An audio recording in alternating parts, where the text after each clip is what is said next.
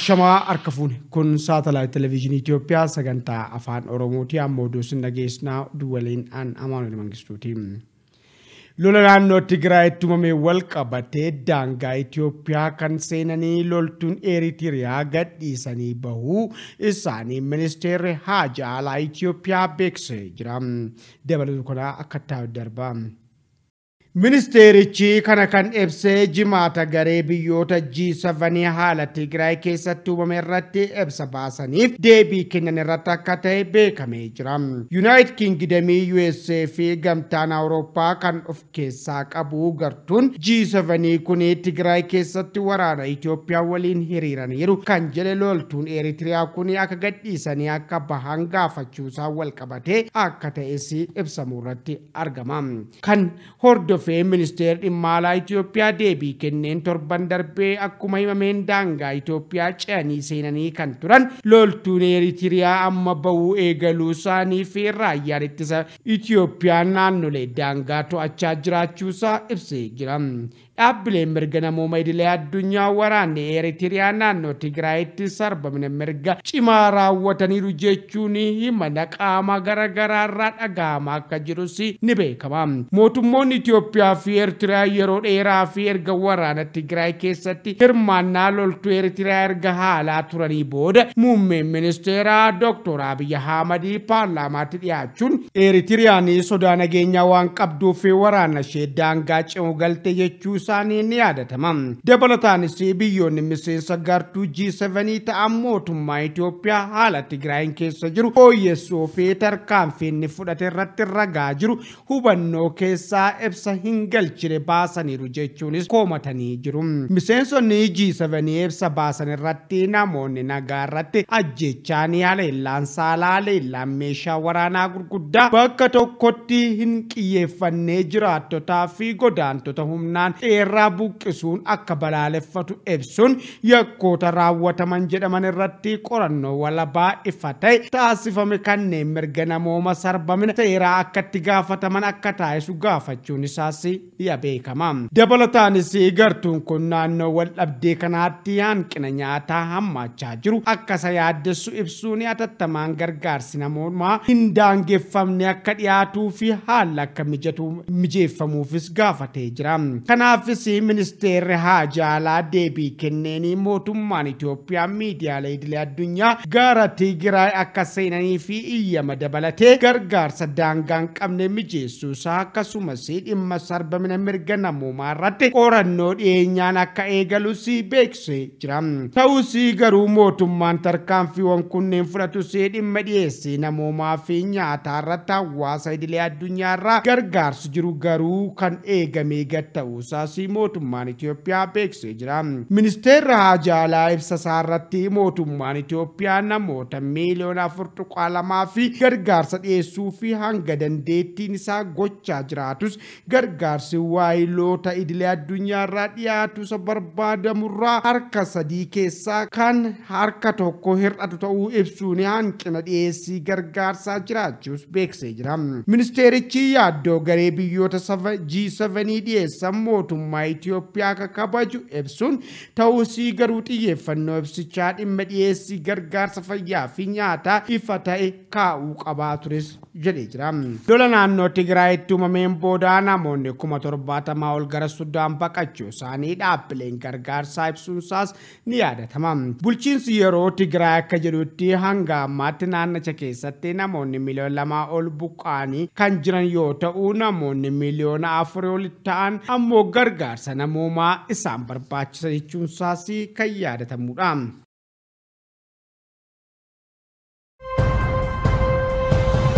Muummichi ministeera Itoophiyaa Dr. Abiy Ahmad muudama guyyaa har'aa ifoomsaniin hoogganaa fi ittaanaa hoogganaa biroodkaastii Itoophiyaa muudanii jiru. Yaada yaadatii dabalata qaba. Muudama guyyaa har'aa Bitootessa 27 bara 2013 ministeerri muummee Dr. Abiyyi Ahmad kennaniin Muhammad Indiriis Muhammad Daayirikteera olaanaa abbaa taayitaa Biroodkaastii Itoophiyaa, Yoonaataan Tasfaayee fi Gizaaw Tasfaayee Daayirikteera olaanaa itti aanaa abbaa taayitaa Biroodkaastii Itoophiyaa ta'uun muudamaniiru jechuun waajjirri ministeera muummee fuula miidiyaa hawaasaa isaan irratti beeksiseera. Adeemsa haaromsa biyyattiin itti fufsiisuuf itti gaafatamummaa naaf kenname sirnaan bahuuf nan hojjedha kan jedhan Yoonaataan Tasfaayee muudamni kenname mootummaaf paartiin gargara ta'uu kan agarsiise jedhaniiru. Taansuudhaan adeemsi jijjiirama biyyattii muummicha ministeeraan jalqabamaniin wal qabate gama isaaniitiin wanta isaan irraa eeggamu akka bahan dubbatan. Gama biraatiin ramaddiin adeemsa gaggeessummaa bulchiinsa mootummaa irratti naaf kenname irratti adeemsi riifoormii jalqabaa galma akka gahu itti gaafatamummaa kiyya sirnaan bahuuf ka'een jira. Biyyi teenya dargaggoof mijattuu taate nuti dargaggoonni gannee kan irraa baqannu akka hin taane gara kiyyaan hojjechaan tures jedhaniiru. Dhumarratti Yoonaataan akka jedhanitti keessattuu umrii dargaggummaa keessatti kan argaman dargaggoonni hooggansa mootummaatti dhufuu jalqabuun qaama riifoormichaa ta'uun kan jajjabbeeffamuu qabu jedhaniiru. Yoonaataan Tasfaayee tana dura yeroo hiwaat daraara adda addaa adeemsisaa turteetti paartii Samaayawii keessatti gaggeessaa ta'uun nama qabsoo hadhaawaa gaggeessaa turee fi sababa qabsoo kanaatiin bara 2007 mana hidhaa maakalaatti darbamanii daraara adda addaa irratti raawwatamaa kan turan ta'uun ni yaadatama. Weellisaa Abel Tasfaayee Weeknd hojii sagantaa nyaata addunyaa Itoophiyaatti hojjetu gargaaruu fi akka toluuf jechuun doolaara miiliyoona tokko arjoomuun isaa himamee jira. Dabalatu kanaa akka taa'u darbaa. WFP'n gama isaatiin weellisaa barreessaa walaloo fi yeedaloof piroodiisarii kan ta'e Abel Tasfaayeen doolaara miiliyoona tokko arjoomuu beeksisee jira.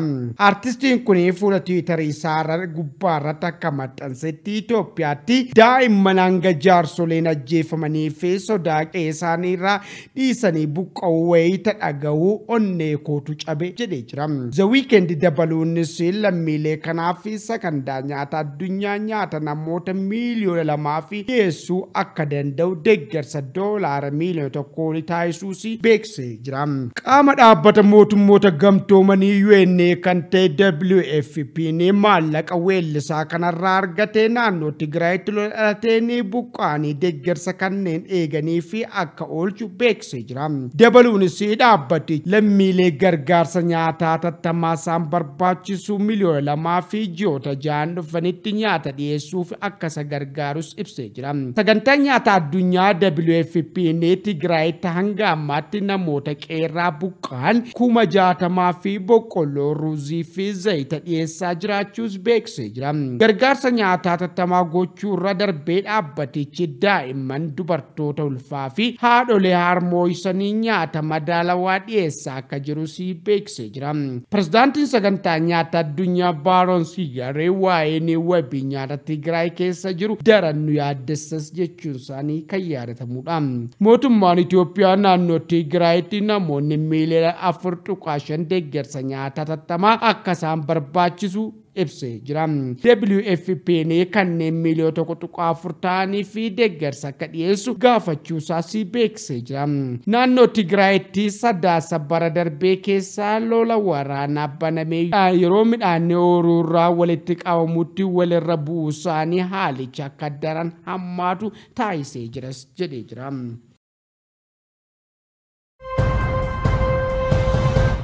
Naannoo Oromiyaa lixa Wallaggaa aanaa Baampoo Gambeellee bakka Sadaq jedhamuu fi naannoo Beenishaangul Gumuzii godina Matakkalitti hajjechaan lammiilee nagaa irratti raawwatamu mootummaan federaalaa furmaata tattamaa laachuu fi mootummaan naannoo Amaaraa gaafachuun isaa beekamee jira. Dabalatu kanaa akka darbaa. Paartiin hawaasummaa lammiilee Itoophiyaa yookiin Izeemaa innaat paartii fi mootummaan naannoo Amaaraa mootummaan federaalaa olaantummaa seeraa kabachiisuu fi haalatti deemaa jiru akka fooyyessuu gaafatanii jiru. Izeemaan ibsa bitootessa 24 bara 2013 baaseen haaleellaan raawwatamaa jiru kan itti yaadamee raawwatamee fi namoonni nageenya naannochaa kabachiisuu irratti bobba'anii hirmaannaa akka keessaa qaban kan agarsiisudha jechuunsaa ni yaadatama. Bakka tokko caqasame keessatti lammiilee irratti haleellaan daangaa hin qabne raawwatamaa kan jiru bakkoota beekamoo fi muraasa irratti ta'uusaan gama mootummaanii naannoo ta'ee mootummaa federaalaan furmaanni fudhatamaa jiru kan rakkochaa wal madaalu ta'uu dhabuusaa izeemaan ibsa baase irratti caqasee jira. Irra deddeebiinii kan ibsa haleellaan eenyummaa irratti hundaa'e akka biyyaatti akka tasgabboofnee fi lammiileen sodaarraa bilisa ta'uun jireenya isaanii idilee akka hin geggeessine danqaa guddaa ta'aa jiruu fi balaa nageenya biyyattii irratti fuulleffate as jechuun ibsee jira. Baatiiwwan saddeettan darbanitti meeshaaleen kontiroobaandii birrii biiliyoona lamaa olitti tilmaamamu to'annoo jala ooluusaa daayirektireetiin opereeshinii to'annoo kontiroobaandii koomishinii poolisii federaalaa beeksisee jira. Yaada yaadatii dabalata qaba. Koomishinarri koomishinichaa Ayyanshaa Tolaa miseensonni poolisii federaalaa sosochii seeraan alaa to'achuuf to'annoo gaggeessaniin hammi meeshaalee qabamuu waggaarraa gara waggaatti dabalaa dhufeera jedhan. Waggaa darbe waliin yemmuu wal bira qabamuu dhibbeentaa 47 dabaliinsa kan agarsiise ta'us himaniiru. Meeshaaleen kontiroobaandii kunneen gara biyyaatti osoo galanii biyyaaf lammiilee irratti miidhaa oolan kan qaqqabsiisuu danda'an ta'uu hammi hawaasni hojii ittisuuf to'achuu nu gargaaruufis sosochii seeraan alaa yoo argu eeruu kennu akka koomishinichi hubachiise himameera. Baatii eebilaa boba'aa xiyyaaraa alatti gatiin gurgurtaa qinxaaboo boba'aa haaluma duraaniin akka itti fufu ministeerri daldalaa fi indaastirii Itoophiyaa beeksisee jira. Dabalatu kanaa akka taa'u darbaa. Ministeerichi baatii bitootessaa 26 hanga eebila 30 bara 2013tti gatiin qinxaaboo gurgurtaa boba'aa hojiirra oolu ilaalchisee ibsa baasee jira. Boba'aan xiyyaaraa alatti gatiin oomishaalee boba'aa biroon haaluma duraan turetti akka itti fufus beeksisee jira. Ministeerichi baatii eebilaa gatiin boba'aa xiyyaaraa leetirri birrii 43 fi saantima 70 akka gurguramu kan murteesse yoo ta'u gatiin baatii bitootessaattiin gurguramaa ture birrii shanii fi saantima shantama dabalata akka qabus eeree jira. Gabaan idilee addunyaarraa gatiin boba'aa jiru ka'umsaa taasifachuun akka barbaachisummaa isaa sirreeffamne akka taasisus ibsee jira. Madda oduu kanaa tajaajila oduu Itoophiyaatiin. Egaa kabajamtoota hordoftoota keenyaa oduu kee xumurree jirraa qophiilee hafanii waliin turtii gaarii.